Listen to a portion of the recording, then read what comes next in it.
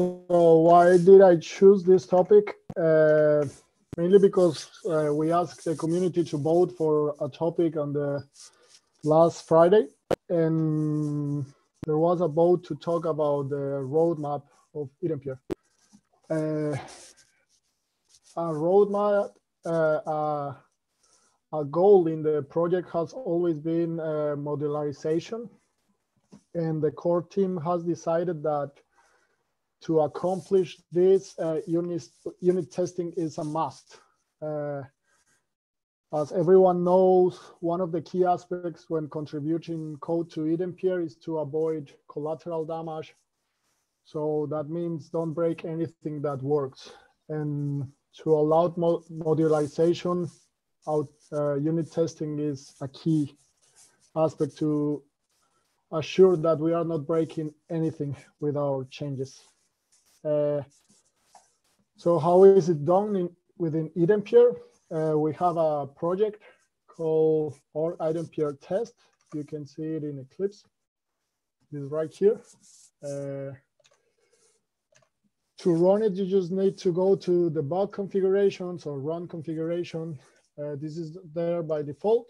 Uh, if you run this, uh, if you run this, you will run all the unit test in iDempiere. If you want to run just a specific class, you can just copy or duplicate it and as I did here, and then say run a single test and select the test class that you want to run. I will do that for this example because the running all tests takes quite some time sometimes. So just for showing you how it works. So basically when you run the unit test, in this case, I'm testing sales orders. Uh, you see here the test running and you see how many errors and how many failures it had. So at this point, every test runs successfully. That means we are okay. Everything is working as expected. So for example, when, when you want to make a change, let's say a customer asks you that the date promise of a line can be after uh, the date promise in the order line. So what we do then is, uh, for example, what we will do there is go to, uh, let's say this line and say, okay, uh, the date promise doesn't need to be equals, but it can be after. For example, this is a silly example, but it's just to show you how it works. Uh, when you do this and all your user cases uh, pass and everything works in the UI and everything, and you think you are ready for a pull request, but then you run the unit test, uh, immediately you will see that they all fail. This is because this breaks the functionality that iDempiere expects.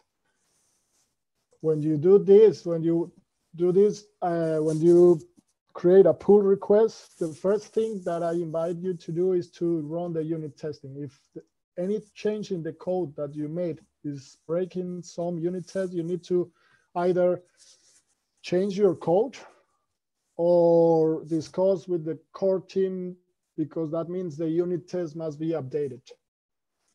It is really important to keep both uh, in line. So that's what I'm talking about here. The invitation is to run unit tests before creating any pull request. It is, uh, as I say, it is important to not break things that already work. Uh, another thing is to improve unit tests.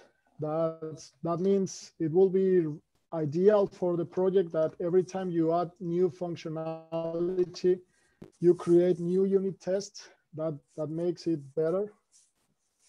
Uh, also, as I say, keep unit tests updated. That means if I change something and I break the unit test and it is because the unit test change it, then you need to update it here and communicate it with the core team. And the invitation is also to create new ones to test further cases. Uh, I will show you how to create one just as an example. I will use a really silly or not realistic uh, use case, but just for showing how it works. And for this, I also want to, maybe some of you already know, but some might not. I find it really useful in this kind of uh, cases, and it's TDD, test-driven development. Uh, what TDD does is that it is a software development process that relies on software requirements uh, being converted to test cases. Uh, this changes the usual way that most of the people develops. Usually you develop code and then create the test. TDD uh, encourage developers to do the opposite. First write the test case and then write code that uh, complies with that test case. This is really useful when you want to keep the test cases updated. What it is is pretty simple. It's a cycle that has five steps. You create a test. Uh, the test must fail because there's no code at the point when you write a test, there's no code that fulfills it. So the test fails. Then you write code just to pass the test. Then uh, it is important in TDD to keep the units small. You write code that just passes a single test case. I will show this with an, with an example. At the first iteration, you can do inelegant things. You can use hard-coded strings. As long as it passes the test, the code, the code is okay. But the last steps is refactor because as we all know, iDempiere also uh, cares a lot about high quality code. So we don't want poor code. So the last iteration of the cycle is refactoring. Let me show you this with an example. So let's go to sales orders test. So let's create here a, a test, let's say test discount calculation. Uh, let's copy the creation of an order and lines.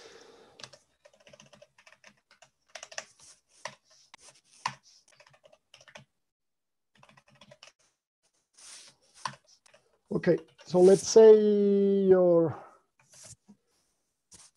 your user told you that you need to create discounts on sales orders. Uh, when it is uh, a standard, give him the 20% discount. When it is CNW, give him 10% discounts. And when it's Joe Block, give him 0% discounts. So as I just mentioned before, uh, in TDD, we write first the test case. That means uh, we say it here, for example, product Azalea, uh, we want to sell four. And just for the sake of simplicity, I will say that the price is 25 just to make the percentage calculation easier. So then I say order get discount amount. This doesn't exist, so the test fails. So I go here to sales order and and create this method. So let's say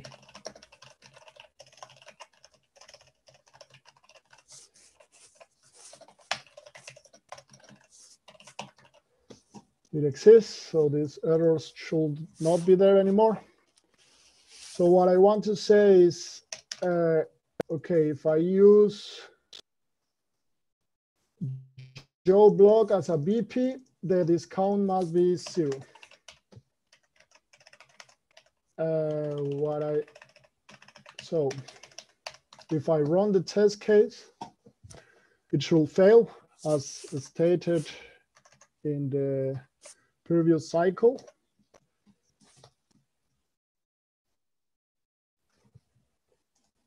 So as we see, it fails because we haven't implemented that code. So as I said, we route code that pass this particular case. So if I say here, return big decimal zero, it should work.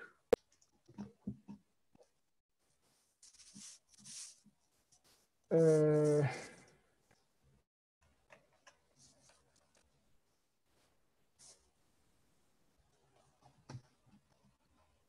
as we see now, now the test passes, so we have done everything right. The test passes, so we are okay. We are good to write the second test case. So the second test case says 10%. So if I write the same,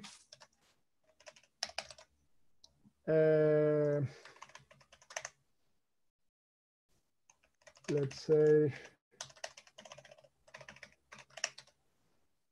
this is, I say CW, so BPCW, and it must be 10.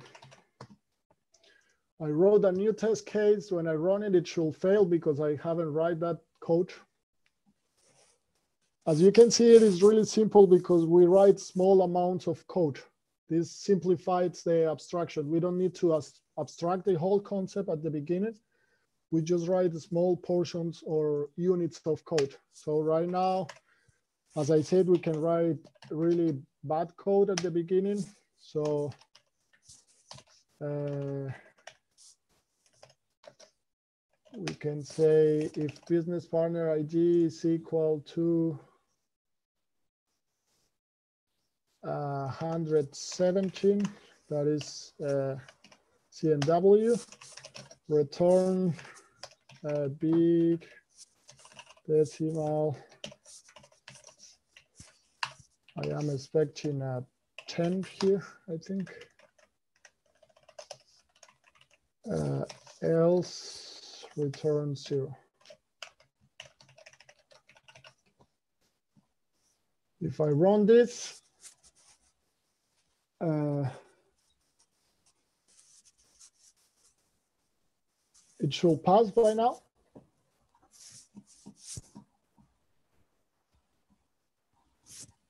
It passes, so we are good. But the last steps, as I, as I say, is refactoring. So in this case, it wasn't that it was 10. It was, it had to be the 10% of the grand total. So for this, we say, okay, return uh, get grand total.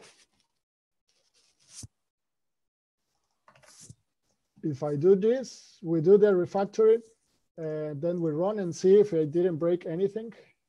I'm pretty sure it will fail in this case because I'm using grand total and I'm not calculating the grand total anywhere. So here you can see after our refactoring, it, it broke. This is why it is so important to keep doing this cyclic. So if you say calculate tax total here, uh, it should work because now it calculates the grand total based on the invoice lines.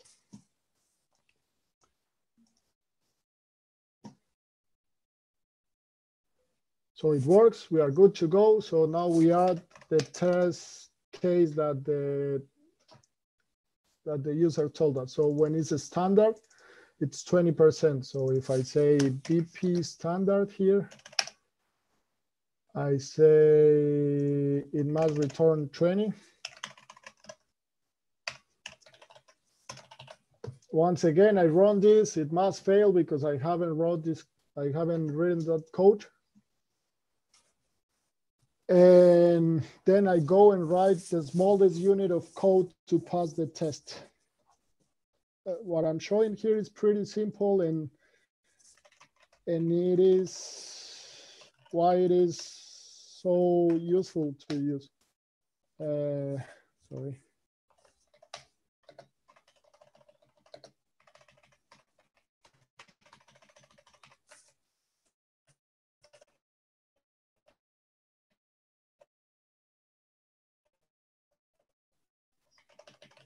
So the and I'm saying they get the 20% discount. Okay, I change it to 20 and now it should work.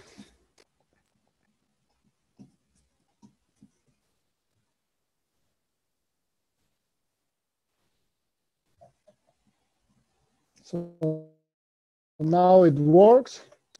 But as I said before, the last step is refactoring. We don't want poor code going into iDempiere. So in this case, we can see the real rule. It is written here for simplicity. It depends on the open balance of the business partner. So we go and, and extract this. So big decimal open balance is equals to get cd partner. Into get uh, dot get. Uh, uh,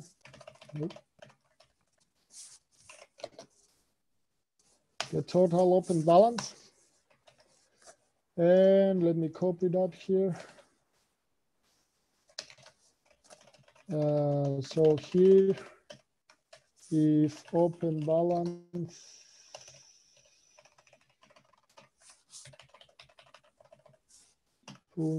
Dot uh, compared to uh, let's say new big decimal. 10% is when it's above 100 uh, greater than zero, I believe.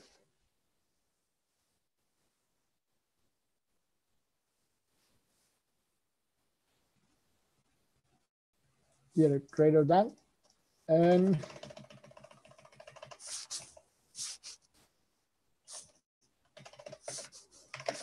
and less than 200, then give the 10%. Uh, yeah, if the open balance is equals to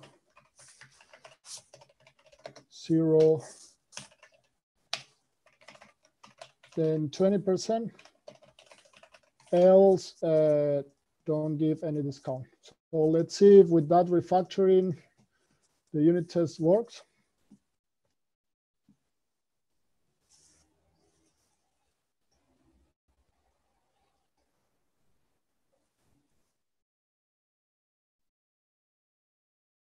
So as we see, it works and the, the, the, code looks much better. Then we call, instead of doing this, bring in the business partner for the from the cache or yeah, we could refactor this uh, further, but for the sake of uh, of showing you how it works, how TDD works, this is a nice example, and it helps a lot with keeping the unit test up to date.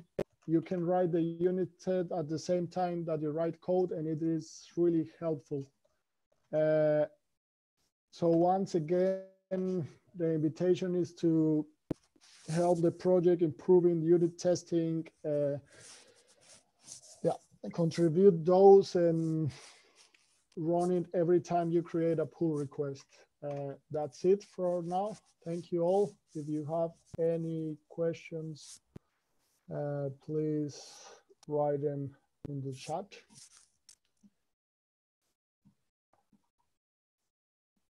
Nice. So I see there are no questions. Thank you all for joining. Uh, if you guys have any questions after the, the meeting, just write them on the Mattermost channel. Uh, Hengsin, you are right. The, the cycle I show is for adding new features. Uh, for bot fixing, for bug fixing, uh, it is really important that you keep running the test. I will write Hengsin's comment in the Mattermost so it doesn't get lost. Thank you all.